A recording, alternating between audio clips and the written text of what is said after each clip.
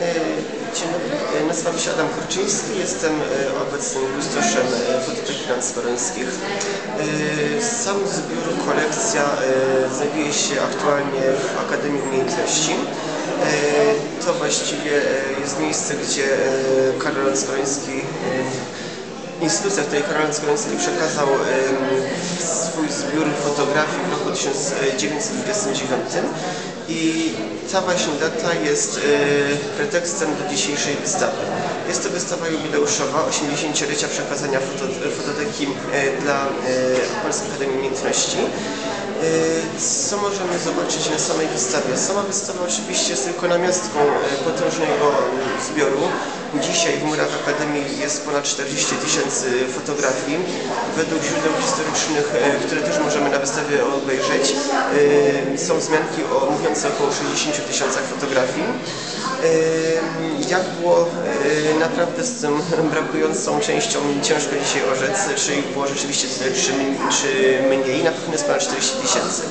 E, Co możemy znaleźć e, w kolekcji? Otóż kolekcja jest, no, jak większość kolekcji, odzwierciedleniem duszy i twórcy, a zatem e, Karol Skoroński jako wybitny mecenas sztuki, kolekcjoner sztuki, podróżnik, e, człowiek zajmujący się konserwacją zabytków nawet i odkryciami archeologicznymi. Wszystko to odzwierciedlił na swojej, e, swojej spuściźnie, części spuścizny, bo oczywiście to nie jest wszystko, co zostało, e, w części fotograficznej. E, Zatem e, z tego zbioru ponad 40 tysięcy fotografii e, możemy znaleźć zarówno e, fotografie mówiące o wyprawach archeologicznych do Azji Mniejszej. E, W pierwszym roku 81, e, którą był no, z, e, z, powiedzmy, że sponsorował poniekąd, a faktycznym przewodnikiem wyprawy był pewien archeolog Otto von Bendorf. Później fotografie były te tak samo, znaczy fotografie z Azji Mniejszej ukazują tak samo późniejszą wyprawę, której pod kierunkiem i, i Karola Lanskorońskiego. E, Ponadto na wystawie na przykład znajdziemy e, bardzo interesujące e, zdjęcia z katedry w Achillei, e, do której renowacji przyczynił się właśnie Karol Lanskoroński i zresztą tu jest też księga wydana przez Karola Lanskorońskiego ukazująca zarys dziejów katedry oraz pewien etap, pewne etapy prac. Ponadto kluczem całej wystawy w ogóle były pewne fragmenty z życia e, hrabiego, jak już wspomniane m, wystawy, czy e, miejsca mu bliskie, jak e, chociażby Wiedeń. E, W tamtej części e, znajdziemy e, fotografię Wiednia takim, jakim go widział hrabia z okien swojego pałacu.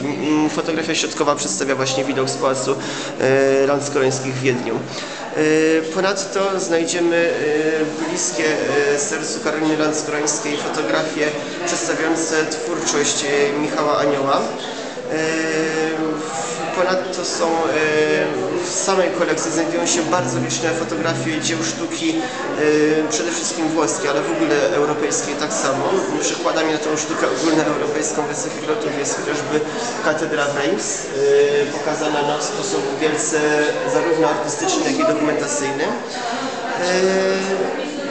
Co jeszcze można powiedzieć? No jeżeli chodzi o, o samą koncepcję wystawy, e, pojawiają się e, tak samo fotografie ukazujące em, rzeczy bliskie e, Karolowi, e, czyli część pozostałej części kolekcji różnych eksponatów, e, które znajdowały się czy to w Rozdole, e, gdzie był jeden z pałaców e, hrabiego, czy też w Wiedniu, e, gdzie była dość liczna kolekcja obrazów czy rzeźb, w tym rzeźb antycznych.